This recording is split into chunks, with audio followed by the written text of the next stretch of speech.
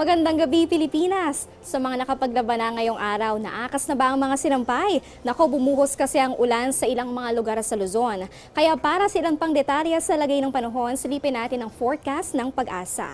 Ayon dito, dominante ang frontal system na nakakaapekto dito yan sa silangang bahagi ng Luzon. Ang weather system na ito ay yung boundary ng mainit at malamig na hangin. Kaya naman dito sa Cagayan Valley Region, Bicol Region, Aurora at Quezon, paghanda ng ilang mga pag-ulan, pagkidlat at pagkulog. Samantala, dito naman sa Metro Manila at sa natitirang bahagi pa ng bansa, iiral naman ang mga pulupulong pag-ulan, pagkidlat at pagkulog dahil naman ito sa epekto ng ilang mga localized thunderstorms.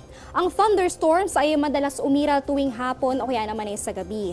Kaninang 5.44 ng hapon, naglabas ng abiso ang pag-asa sa mga lugar na makakaranas ng malalakas na buhos ng ulan, pati na rin ay pagkidlat at pagkulog. Dito yan sa Aurora, partikular sa Baler, San Luis, Maria Aurora at Dipakulaw.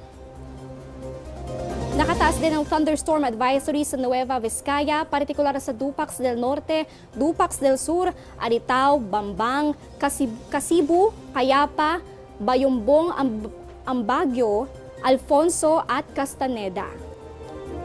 Nakataas din ang thunderstorm advisory sa Carino, partikular sa Nagtipunan. Iira lang mga pag-ulan, pagkidlat at pagkulog na ito, natatagal ang isa hanggang sa dalawang oras. Diyan lamang po kayo at magbabalik pa ang Panahon TV.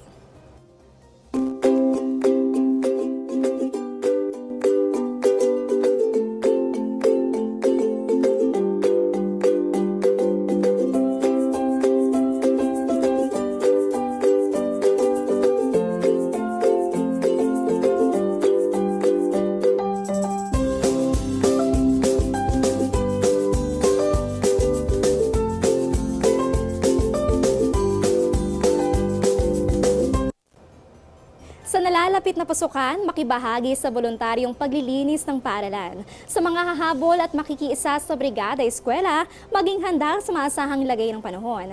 Narito ang forecast ng pag-asa mula bukas hanggang sa Sabado.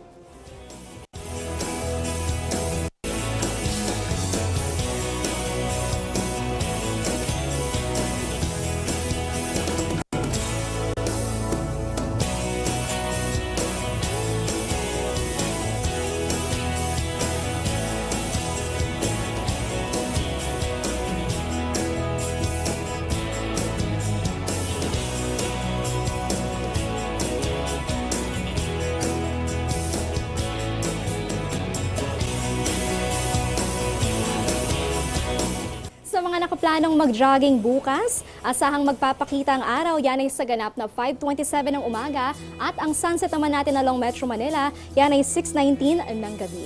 At yan ang latest sa lagay ng panahon mula rito sa Pag-asa Weather and Flood Forecasting Center. Ito ang Panahon TV kung saan walang pinipiling panahon ang pagbibigay impormasyon. Ako si Trisha Garin, mag-ingat at magandang gabi.